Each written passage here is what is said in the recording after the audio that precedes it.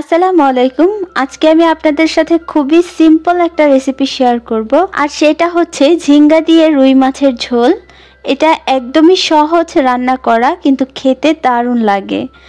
অনেকেই অনেকভাবে রান্না করেন তবে আমি যেভাবে রান্না করি সেইভাবে আজকে আপনাদের সাথে শেয়ার করব। প্রথমেই কড়াইতে পরিমাণ মতো তেল দিয়ে দিচ্ছি। তেলটা হালকা যখন গরম হয়ে যাবে তখন মাখিয়ে নেওয়া রুই মাছগুলো দিয়ে দিচ্ছি। রুই মাছগুলো জাস্ট লবণ আর একটু হলুদ দিয়ে মাখিয়ে নিয়েছি। এবার এগুলোকে দিয়ে এপিট ওপিট ভালো করে একটু ভেজে নিতে হবে। একটা সাইড যখন ভালো করে ভাজা হয়ে যাবে, এগুলোকে উল্টিয়ে নিয়ে আরেকটা সাইড ভালো করে ভেজে নিতে হবে।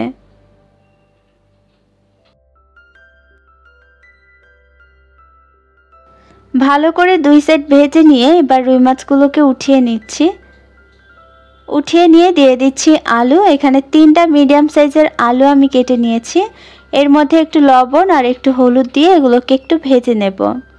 আলুগুলো একটু ভেজে নিলে তরকারিটা রান্নার পর খেতে ভীষণ ভালো লাগে।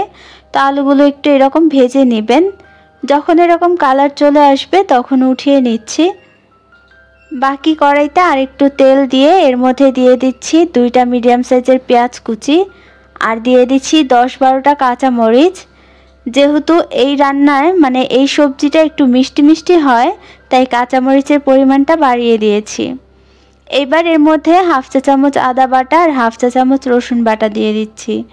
রসুন, আদা মিলিয়ে ভালো করে একটু ভেজে নিয়ে এরকম কালারটা চেঞ্জ হয়ে গেলে দিয়ে দিচ্ছি একটু পানি। পানিটা দিয়ে একটু নেড়ে তারপর বাকি মশলাগুলো দিয়ে দেব। এক চা চামচ হলুদের গুঁড়া, এক চা চামচ মরিচের গুঁড়া দিয়ে দিচ্ছি হাফ চা চামচ ধনিয়া গুঁড়া আর হাফ চা চামচ জিরার গুঁড়া। এগুলোকে নেড়ে মিশিয়ে নিচ্ছি। পানিটা শুকিয়ে গেছে, তাই আরেকটু পানি দিয়ে এগুলোকে কষিয়ে নেব।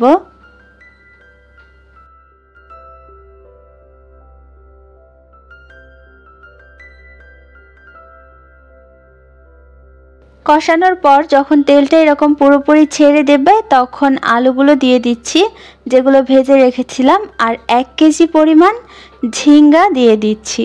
দিয়ে দিচ্ছি পরিমাণ মতো লবণ। এখন এগুলোকে খুব ভালো করে একটু মিশিয়ে নিয়ে ঢাকনা দিয়ে ঢেকে দিচ্ছি। ঢাকনা দিয়ে ঢেকে দুই থেকে তিন মিনিট কষিয়ে নেওয়ার পর দেখবেন এর থেকে এরকম অনেকখানি পানি বের হবে। এর মধ্যে যখন এরকম পানি বের হবে, তখন আরেকটু পানি দিয়ে দেব। এই পর্যায়ে ঝোলটা দিলে আর পানসে লাগবে না।